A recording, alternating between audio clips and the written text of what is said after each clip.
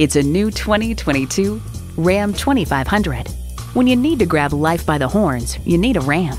Plus, it offers an exciting list of features V8 engine, four wheel drive, automatic transmission, trailer hitch receiver, external memory control, wireless phone connectivity, manual tilting steering column, active grille shutters, HD suspension, and streaming audio.